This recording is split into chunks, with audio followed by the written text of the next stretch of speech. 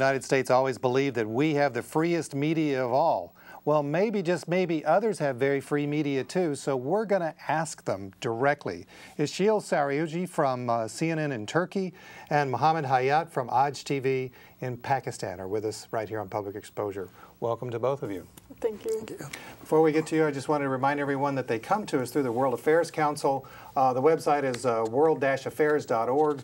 Go to that site. You're going to learn an awful lot about the world around you and the world that you don't get to see every day. Uh, fortunately, though, you are both here with us. Uh, Işıl, uh, CNNTurk.com, so mm -hmm. yeah, you you're it. with the big voice of CNN, huh? Yeah, we are. We are. What do you do for CNN? I'm a reporter in CNN Turk. I'm on the field. Uh, I mostly cover uh, the hot, hot agenda going on in Turkey. Uh, I'm not the parliamentary reporter because our capital is in Ankara, so we have parliamentary reporters that, but we are covering the political stuff and the economic stuff which is going on all around Istanbul. And I'm also covering the international issues in Istanbul. Uh, well, Stan, uh, let me thank you for the opportunity which you, have, uh, you give us uh, to speak directly to the people of Seattle and the rest of the America. Uh, it's really an opportunity that we should discuss some of the issues back in our country because mm -hmm. I found that most of the people, uh, whether they are in Washington, D.C., Rochester, Chicago, wh wherever it is, but most of the people still doesn't know how the tribals look like, how the Taliban's are, uh, how they are much powerful than even the people of and the government of the United States and the rest of the NATO countries. So uh, in, back in our home, uh, I belongs to uh, the tribal area, which is FATA, the uh, federally administered tribal area. It's uh, a 2,500 long area between Pakistan and Afghanistan. Um, and you cover that whole area? Yes, I depend on that, that whole wow. area. It started from uh, bordering areas of the Central Asia, Tajikistan, Uzbekistan, and adjacent to uh, China or Chitral. Uh, and then it goes to uh, Afghanistan, and it ended up at Iran. So a, a long area with uh, lots of troubles. So you're the bureau chief, so not only do you report, but you also work with other reporters as well? Uh, sure. I, um, uh, I have that uh, administrative post also. I have to go into those areas uh, to look after my journalist, even sometimes even to cross the border, uh, go to the, the, the, people working for my network inside that Afghanistan, whether it is Khost, Kandahar, Helmand, Uruzgan, or Nangarhar, mm -hmm. in those areas. So I have to take care of the my uh, guys and uh, the journalist and uh, also go to the field to know what the reality is. Well, thank you both for being willing to, to answer some questions that I think Americans would have of you, and so we might as well get right into it. Do we have the video ready? If we do, this is this is a video that was on uh, a little bit of television here in the United States. Mostly, if it was seen on the United States, it was seen over the internet, but it was on a lot more television stations in other parts of the world, probably including your station in any event. So we ready to go? Let's go with that. This is uh, part of the execution of Saddam Hussein. What was the reaction in your country first, uh, Hayat?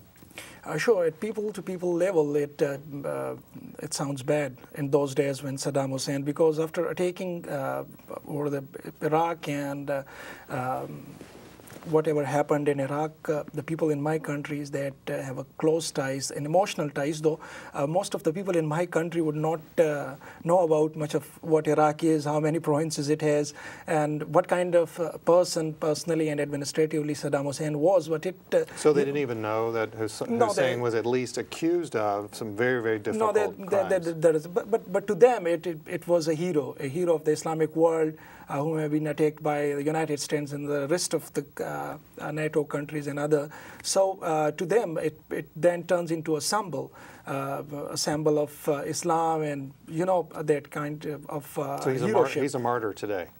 yeah, and um, this this happens to me. I think the same kind of feelings were there, which I have found in Afghanistan also. people feel sorry mostly those people who are uh, uh, pro-Islam or uh, who has that kind of feelings towards Saddam Hussein. Uh, though in some parts of my countries during uh, the Kuwait war, the, the, war between Iraq and Kuwait, when he invaded Kuwait, uh, at that time also um, the people felt some kind of sympathies because of that Islamic thoughts that he had that I have to build an Islamic empire over here and would damage the, the interest of the United States throughout the globe. So that kind of feelings that found maybe right or wrong, but this is what uh, the local Pakistanis believe. Hmm. Michelle, in Turkey, you're a, yeah, a secular are, government. Yeah, we are a secular government, and we are dealing with a my I mean my government and my state is dealing with the Kurdish issue. So the reactions were much more different than in Pakistan and then in Turkey, because we are we have a border with Iraq, and uh, Saddam Hussein was our neighboring uh, mm-hmm. governor. So the reactions were in Turkey were uh, much more different from one side to another because we have a Kurdish movement in Turkey uh, who supported Saddam Hussein very closely. So for them, of course, the execution was a very sad news, but uh, they didn't react it very highly, I can say. But for uh, the um, the majority of Turkish people, it was of course a murder. He was a dictator, and mm-hmm. he was a uh, he was trying to uh, rule the Sharia laws, which uh, in Turkey, even if we are a Muslim country, are not ruling on. So uh, for majority of the Turkish people, the reaction was, of course, not being happy with the guy who is killed, but uh, the um, he was murdered for the majority. But now you're not saying that Hussein had Kurdish support, though, are you? Because he was uh, he was executed as a result of him being convicted of um, basically a mass murder of Kurds. Yeah, but uh, still, uh, the, there were the branches of uh, PKK, the Kurdish terrorist movement, mm. who had a relationship with the uh, Saddam Hussein and the, his uh, organization. So, okay. well, let's go to uh, back to 9/11 though. The the guy who uh, apparently was the mastermind of 9/11 was uh, Osama bin Laden, and uh, he apparently is still out there somewhere, supposedly in your country. but I have a, a question. Um, should the media help find bin Laden? Işıl? I don't think that media mm, must play such a role because it's not our job to find the, the, the guy. I mean, oh, it's not our job to show to point out where he is. And I think I, I don't think that there is a big difference if whether he is found there or not because Al Qaeda is there and Al Qaeda is Al Qaeda which is with its very uh, strong structures and strong economic structures as well. I think it's not going to create a very big difference whether he is going to be found dead or whether he's going to be found alive, mm -hmm. alive because Al Qaeda is Al Qaeda and it is Great point. Hayat, let me ask you about that because you work right in that area. So does it matter whether bin Laden's found or not? No, I'd support Işıl uh, for that because uh, it doesn't matter whether Osama is dead or alive. It's basically uh, the issue of terror politics. It's the issue of uh, terror economy in that area and also a, a kind of belief uh, the belief which thinks that terror politics work, and, and it still works in my country back because uh, nobody has uh, stood up against the suicide attackers. Nobody has that technology to tackle with those suicide bombers, and hundreds and thousands of people, because of the circumstances, unfortunately, what kind of circumstances that we are facing, they are turning into that kind of uh, uh, suicide bombers and belief in terror that if they had the weapon, if they had certain kind of beliefs in their minds, and they could use it, they can uh, get profit of it. Uh, and uh, as, as well as the matter of Osama bin Laden is concerned, I don't think it, it, it matters so long for now because the mastermind, the, the real mastermind who was behind the 9-11 attack, that was Khalid Sheikh and he has been captured from Pakistan. Uh, so uh, I don't think. Uh, I think that now the issue is that of the terror politics, the terror economy, and uh, the global issue were there. Because, uh, you know, Stan, uh, I always symbolize my land as a chessboard. There are politics. There is China, there is Afghanistan. Inside Afghanistan, there is NATO, a lot of countries. And at the end, there is Iran. Uh, and on the other side, there's a big giant uh, in that region, India. So it's a chessboard now. Hmm. We're going to get back to that in just a moment. I just want to remind everyone right here on Public Exposure, thanks to the World Affairs Council, we're talking with Işıl Sarıyüce of CNN Turkey and Mohammed Hayat of Aaj TV in Pakistan. Go to the World Affairs Council website. You're going to learn an awful lot.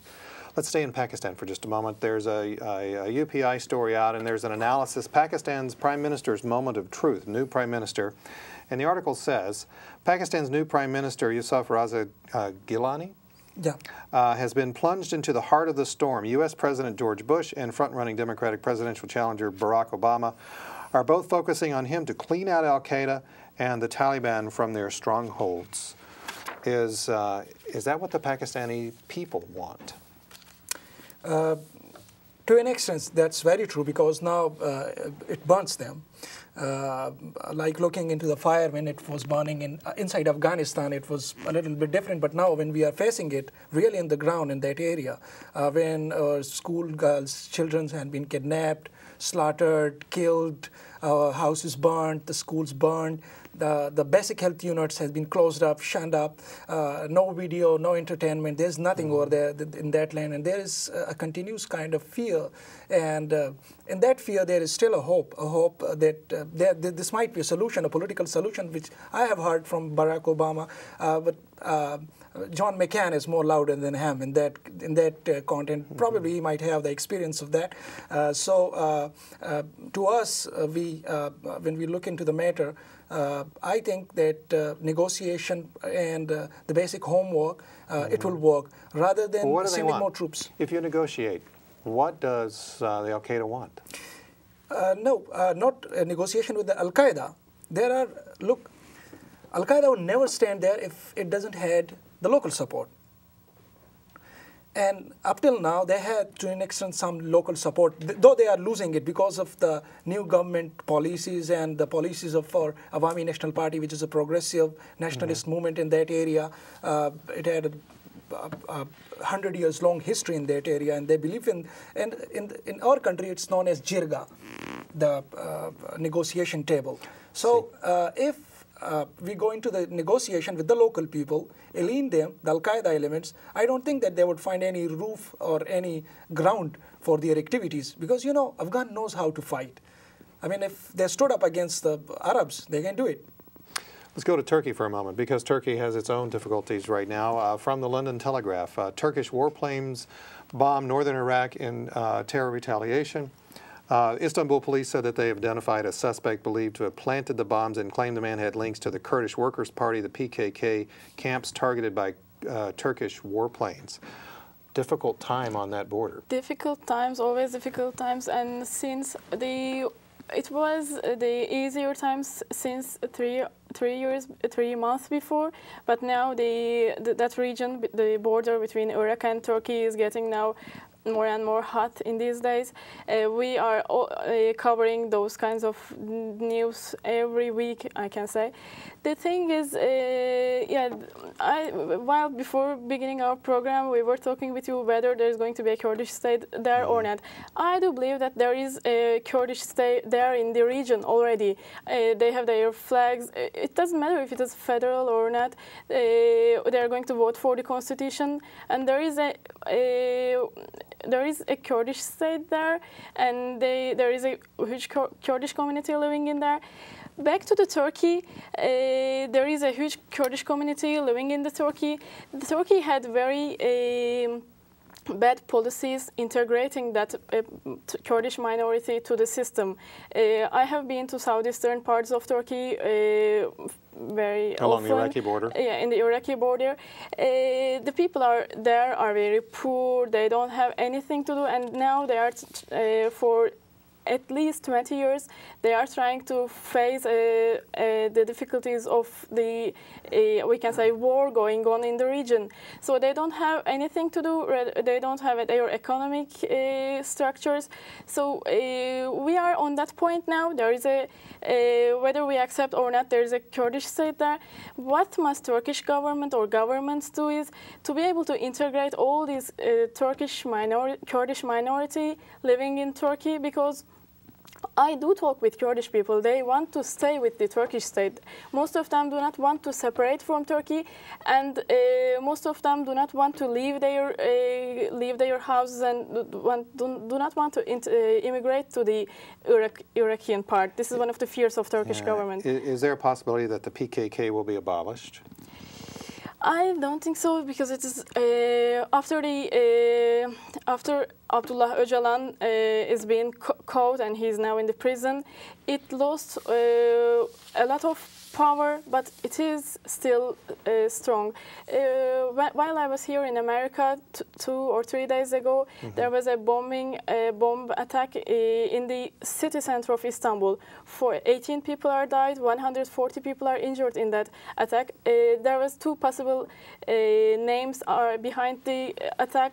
One Al Qaeda, uh, two PKK, the Kurdish movement. So it is there any shows that relationship between the two, the No, no, PKK no. and the Al Qaeda at all? uh, not No, not no, very. it no. just just separate, independent grapes. I'm I- I'm talking about two possibilities. That a recent event shows us uh, both Al Qaeda and a Kurdish movement. They are still very strong, uh, and they could realize the attack in the city center of Istanbul, and they could be able to kill those all those people. So uh, the policy must be to integrate them to the system.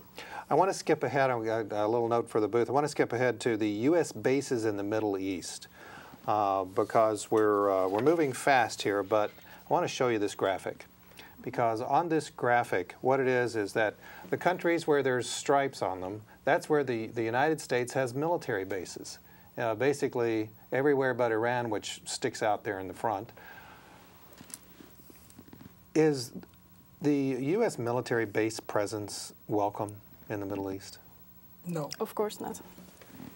So why is it Look, there? uh, uh, uh, during in Vietnam War, what happened to the American troops? Uh, to me, uh, the, the policies which they have adopted after the uh, end of the Soviet Union, it's again the reversal of the same thing. Uh, they are coming there without any proper homework. Uh, what do you mean by that? That's a great, a great statement, but what do you mean? There's not, not proper homework. during the i mean for homework means that they doesn't know look when they attack iraq at that time they doesn't know about the sunni factor the shia factor then they just roamed into that area and they killed hundreds and thousands of their troops likewise i'm telling you that uh, afghanistan is the most dangerous place it's not like Iraq. Iraq was a civilized city. Afghanistan, for the last 40 years, they are fighting. So uh, I think, and uh, now the, the recent report shows it, that the uh, death toll rise up uh, inside Afghanistan, and particularly in the tribal, uh, the uh, bordering areas closer to the Pakistan, where the Pashtun dominance is there, the real Afghans. So uh, likewise, when they come in, this, they supported the minorities inside Afghanistan or uh, if they came in without the support of the majority, without uh, uh, winning the hearts of the Afghans, as it happened in, uh, during the uh, Soviet invasion. They come there, they uh, recruit people, they supported them, uh, not militarily, but also during their conditions. Um, dozens of camps were established for the refugees people.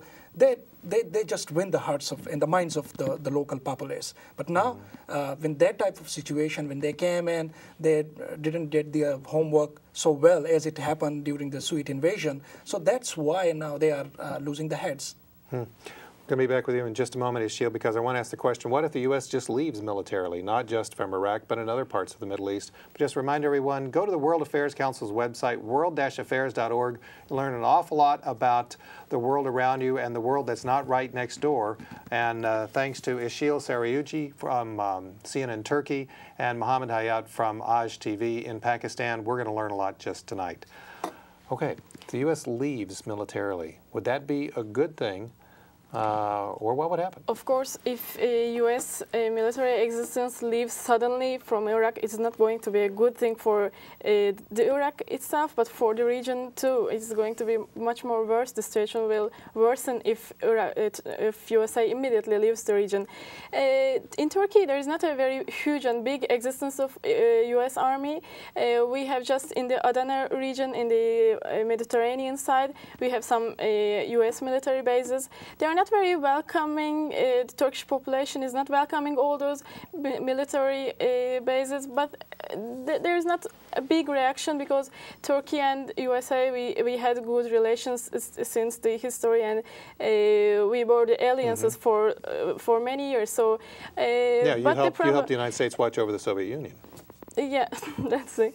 Uh, but the, I think the issue is uh, the military existence of uh, USA in the Iran. If USA uh, tries to intervene in Iran, it's not going to be as easy as that uh, you faced in uh, Iraq. In fact, that's where we're going right now. The Los Angeles Times, Iran, Mohammed. Um, excuse me, Mahmoud uh, Ahmadinejad talks tough about the West. He says the big powers, this is quoting him, the big powers are going down. They have come to the end of their power and the world is on the verge of entering a, a new promising era. Of course, he seems to talk in hyperbole exaggerations, but um, Iran is a lot of people and a lot of money and a lot of assets Yes, uh, that, that, that's really what happened in a tribal belt because again there is a Sunni and Shia problem. In some of the tribal belt where the uh, Shias are playing the dominant role, they they've been openly supported by Iran and uh, the rest of the other forces, the Shia uh, factor. But uh, uh, I'll let respond to your first question, and that was that if the U.S. troops left the area, what would happen? To me, I think again a civil war because we have watched it after the withdrawal of the U.S. troops. So now, civil war in Iraq, civil war in Afghanistan, civil war in Afghanistan, war and general. which will affect obviously it will affect the rest of the the, the South Asia also, the Pakistan. Uh, what kind of situation is there? It's uh, directly affected our lives also uh, inside the Pakistan. So uh, to me, if uh, the U.S. troops left the area, I think that there would be another civil war in that area. So it's not the right time uh, wow. that the U.S. troops should leave the area, but. Um, again, I would say that uh, uh, the U.S. and the rest of the uh, NATO countries, they should support the progressive movements and they should realize the situation in terms of that, that where there in the region there is Iran and in the region where there is China, uh, and in the region when there are the, the former uh, enemies. So uh, what should the Americans do? I mean, it's really a question now that they should think about it. Well, we're going to have an election soon here in the United States, mm -hmm. and, and I know that both of you are watching the election. Are, are your, the people in your countries watching the U.S. election, and does it matter to them who wins, Obama or McCain? Of course it does matter because uh, Bush uh, current government changed the image of uh, America all over the world. As I said, we were the allies with USA, but now most of the Turkish population, I can say that hates Bush because of the policies he applied in Middle East and all over the world. So there is a huge sympathy towards Barack Obama because of his, we can say, more peaceful policies and he's uh, he's I think thinking in, in long terms because he's skeptical about uh, intervening uh, he's skeptical about pushing the troops from uh, Iraq immediately. But that is what uh, it must do. We, mm -hmm. must, we must think about it. It's not something we, USA uh, must take the army immediately. So he's um, he, about the oil prices and about the economic issues, uh, he gives hope to the U.S. Uh, citizens, which means that uh, hope to the Turkish citizens, of course, because when the economy goes bad in USA, uh, it goes bad in Turkey too. Hayat, is it an economic issue? Uh, yes, sure, it is. And uh, now even the Taliban and the, the, the, hardliner Muslims, they are taking interest in the same U.S. elections. Uh, uh, referring to the Ahmadinejad, the, the president of uh, Iran, uh, probably he might seen that situation that now the USA, what we have uh, seen for the last few days, that it's uh, it's facing two types of threats: the external threats and also the internal threats. Well, here you are facing the crisis of energy, also some the jobs cut. Uh, today we have uh, read in your newspapers that uh, about almost 12,000 people would lose their, their, job in coffee business. Mm -hmm. So that kind of situation, so it might they might refer to that kind of situation externally, what happened in Iraq, and then after the fall of it in Afghanistan, and likewise what's happening to the common people in America. We have had um, a uh, an Iranian. He was born in Iran, and he and his family left Iran, and he has been here on the show, and he claims that Ahmadinejad is. Uh, basically a terrorist himself, and that for the most part the people in Iran don't support him. Is that right? I don't think so. I, in the region there's a huge sympathy towards him. Yes, sure. Uh, uh, to him, uh, if, what we have heard about him, because I'm, I, I doesn't belong to Iran, but we have heard about him that uh, he is much loyal to his people, and uh, uh, administratively he he brought a lot of changes, and it's welcomed by the common people in Iran. We're running out of time. We only have about two and a half minutes left, so I've got to get to this issue: Palestine and Israel. Um, is it is that a big sticking point, the big sticking point for the United States in the Middle East? Of course, because it is the first power, uh, and United States must play the, the, the, its role in the region. Because Turkey, for example, is playing the role. He, there is now the talks are going on between Syria and Israel, and Turkey is playing the middleman between those talks. And if Turkey does this, of course, uh, America must also play the role to bring the peace in the region. Because, uh, especially for the Syrian side, without America's guarantee on the peace, it is impossible for them to have the peace. So I think Palestine issue is a big issue for America. But this government, uh, the current Bush government, didn't play the role that it must play, according to me. Does the United States continued alliance with Israel harm it uh, in its relations with Pakistan? I think it's not an issue in, uh, for a local Pakistani. I mean, if you ask for a local Pakistani where Israel is, you would not know where Israel is. But it, met, it does matter for those powers which are playing over there at the chessboard back in my country. Mm. What do you think about the media in the United States? It's uh, really very uh, a kind of individualistic approach. I mean, it's uh, really very local. Most of the people whom we met uh, doesn't even know about my country or what Afghans are, what Pashtuns are, and that's it uh, created a lot of problems even for the policymakers who are here or for the people who matters. And I think U.S. media failed in the covering Iraq war. All these embedded journalists going there, it's uh. Some of them from your uh, your yeah, company. Yeah, of course, I don't know. They, but it's influenced the image of. It influenced the trust of the people to, towards the media. Do you feel that you have freedom as a media journalist in your countries? Yes, sure, I do have. Uh, we suffered a lot, but still we believe that uh, still there is a light on the other side of tunnel. Well, I'm, I'm told that we're at the end of our time. I wish we had about two more hours. Thank you very much for being thank with us, and thank you for traveling us. here to the United thank States. Maybe we'll get to travel to your country someday. We hope so. We'll see you right here next week on Public Exposure. Take care.